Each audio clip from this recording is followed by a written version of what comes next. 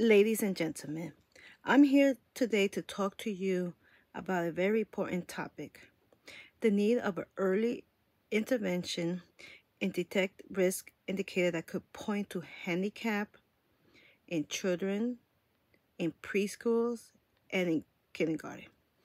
It is impossible to overestimate the value and advantage of an early action. A National Early Childhood Technology Assistance Center study found that early intervention treatment can enhance a child's development. Early intervention intervenes increase a child's chances of finishing high school, finding employment, and leading to independent life. They are not as likely to put in a special education program or be held back a grade. Not only are children who receive early intervention benefits, but also their family. According to the research published in the Journal of American Academy of Children, early intervention can ease parental stress, strengthen bonds between parents and children, and strains the fa family capacity to support the children during a challenge, challenging time. Indicate risk factors and put early intervention plan into into practice request require close collaboration with family.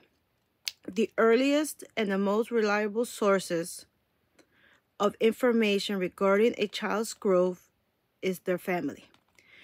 They may offer insightful information that can direct the intervention procedure. Better results of children with impairments are achieved through family professional relationship. According, this is according to a Journal of Early Intervention Studies. However, there are some barriers that could prevent early intervention and partnership with families.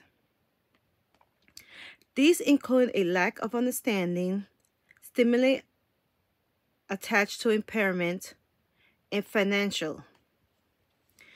To address these obstacles, we must raise a public awareness about the need of early intervention.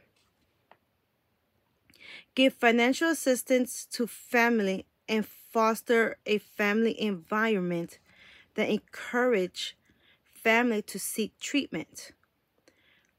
To summarize what I have said, the early intervention is a strong weapon that can alert the courses of a child's life. It is our obligation to ensure that every child, regardless of ability, that has the opportunity to realize their full potential.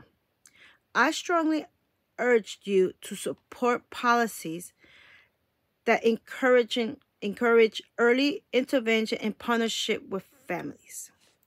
Thank you and have a nice day.